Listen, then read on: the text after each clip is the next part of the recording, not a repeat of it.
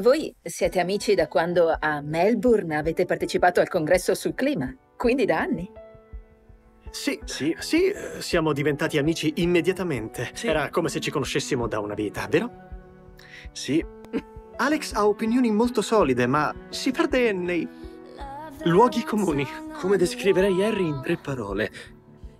Bianco, biondo e inglese. Ciò che io ammiro moltissimo di Alex è la sua capacità di ammettere quando ha torto. Lo considero un grande pregio, enorme. Beh, uno scrittore. Vivrei a Parigi.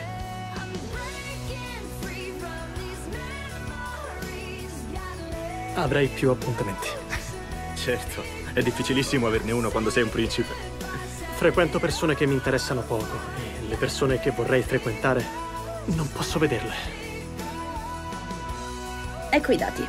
Harry per te rappresenta un'ossessione da anni. Non è vero. Non interrompermi.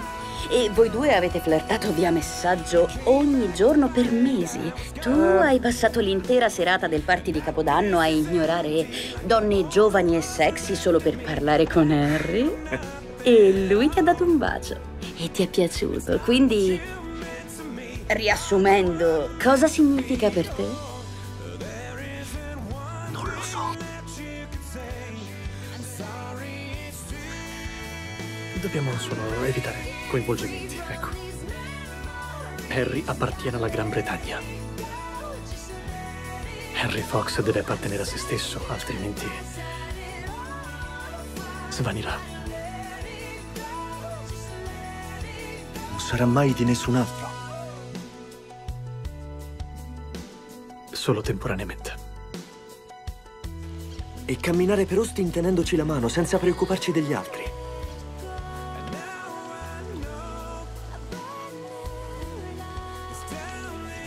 Voglio portarti nei posti in cui sono cresciuto. Capirai meglio com'è stata la mia vita. Non mi sono mai sentito come adesso.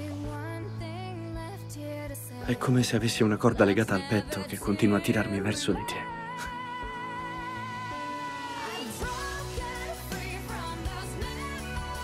È molto piacevole. Perché io non voglio rinunciare nemmeno alla più esile speranza di aggrapparmi alla felicità che ho trovato con te. Se non ci credi sei tu a non conoscermi. Perciò mandami via, Harry. E prometto che una volta uscito da quella porta non ti disturberò ancora.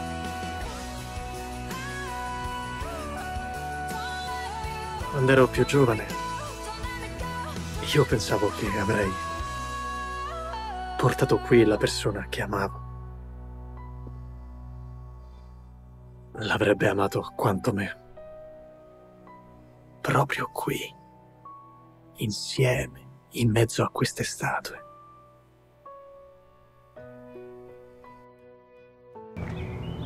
Voglio lasciarti qualcosa di mio,